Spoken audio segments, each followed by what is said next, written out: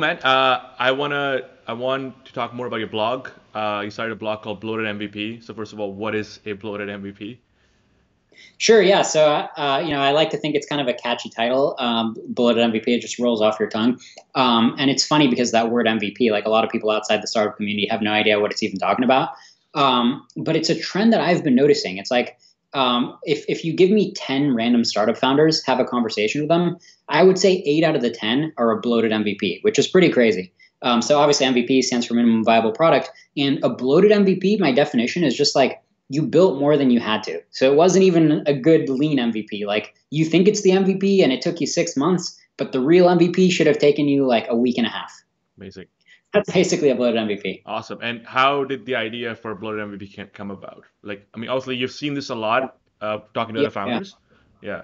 Sure. So, um, you know, I've always wanted to start a blog and like get a readership, but my bottleneck to starting a blog is I don't feel like I have something to write about every day, and or like I do, but it would take me like two hours, right, to like think of an idea and refine. So I was always like keeping an eye out for the idea of like when can I start a blog where I just have like a theme, right? And I'm always like seeing patterns and seeing more examples on the same theme. And then finally last year, I'm like, I'm always seeing bloated MVPs. Maybe I should just start a blog on bloated MVPs because I keep having thoughts about the same topic. Um, and I got inspired because I kept seeing, um, I kept talking to startup founders and they kept showing me bloated MVPs. And I'm like, doesn't YC teach you not to make a bloated MVP? Like, haven't you read that book, The Lean Startup? Um, and so I realized I think that the world has like another niche for like more content telling you not to make a bloated MVP. I also think that correct me if I'm wrong, but I also think because I know I when I read Lean Startups about eight or nine years ago, and I made the same mistake. I definitely did have a bloated MVP multiple times after even reading the book or even like listening to Paul Graham. I think you're absolutely right. I think it's just very hard to like uh, like you, I mean, you can see examples of bigger companies and you can be like, oh, this was their MVP. But when it comes to your own company, I feel like a lot of times you don't know what that even means until you see actually see examples, at least in your space, or you know what I mean, like a real, or someone actually explains it to you.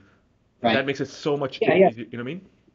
Exactly, yeah. And honestly, I think it's kind of juicy to take existing companies that have launched with millions of dollars of funding, with like you have a team of like these five smart people. Like these people could be making like uh, six or seven figures. They could be making a million dollars a year at Google, uh, and instead they've dedicated you know six months, twelve months to this project, and the project launches. And then, but when I see it, I'm like, wait a minute, you're not going to get any users. Like you just took all this massive brain power, right? These super valuable economic resources, yep. and you're not even going to create value to a single person. It's like if you had just like opened up like a lemonade stand and like served somebody some lemonade. At least that would have been a value transaction. But instead, you did something which wasn't even like the most basic value transaction of giving somebody value.